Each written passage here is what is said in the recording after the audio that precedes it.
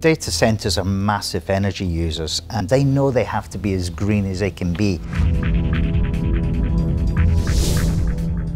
The customers pay for the electricity to run the servers and they pay for the electricity to extract the heat. And that heat needs to go somewhere. Our equipment comes in and it takes that heat and it rejects it.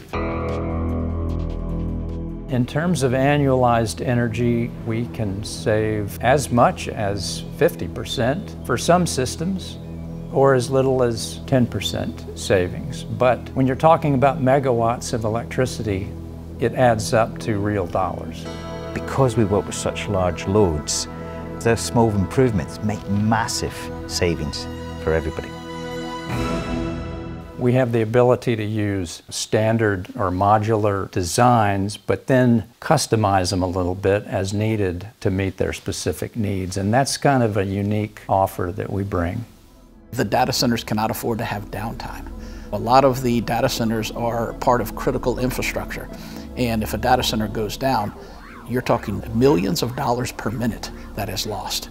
So the uptime is absolutely critical. It's really important to be a reliable supplier. They're desperate for suppliers. The growth in the marketplace is very big. It's getting bigger and bigger every day. We've seen significant growth at Munters.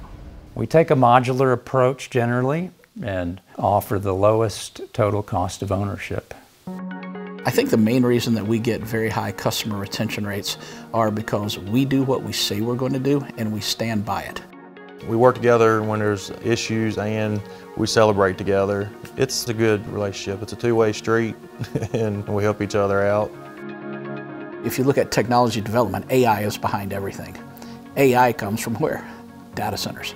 So data centers are continuing to expand, get bigger, get faster, get smarter, and we're a part of that. For the data center markets in the Americas, we have two main facilities. One is located in Selma, Texas, just out San Antonio.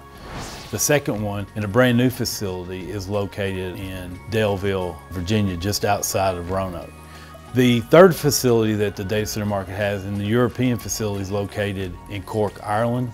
Currently, we are building a new 120,000 square foot facility to handle the expected growth that we're going to see in the European market. A lot of the sustainability regulations and initiatives have come out of the EU, and we sell our equipment on efficiency. From its beginning, from 1955, when Carl started the company, we've got sustainability in our bones, before sustainability became a word as such. Data is the new currency. If you have data, you can basically do anything.